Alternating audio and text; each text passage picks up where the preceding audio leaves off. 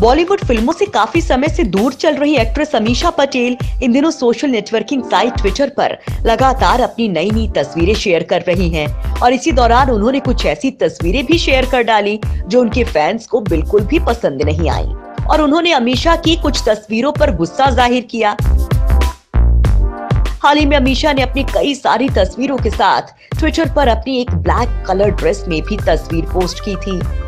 जिसे लेकर social media users उन्हें ट्रोल कर रहे हैं इस तस्वीर में अमीशा ब्लैक आउटफिट पहनी हुई है, लेकिन इनमें से अमीशा के कुछ फैंस उनकी तस्वीरों की तारीफ़ भी कर रहे हैं एक तरफ़ जहाँ कुछ को अमीशा का ये अंदाज पसंद आया तो वहीं कुछ को उनकी ऐसी तस्वीरें बिल्कुल भी पसंद नहीं आई हैं।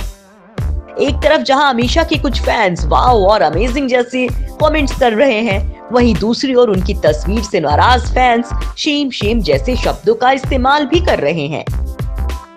अमीशा पटेल ने फ़िल्म कहो न प्यार है से अपने फिल्मी सफ़र की शुरुआत की थी। इस फ़िल्म में ऋतिक रोशन उनके साथ थे। काफ़ी समय से अमीशा पटेल को बॉलीवुड में नहीं देखा गया है। शायद उनको इन दिनों काम नहीं मिल रहा है।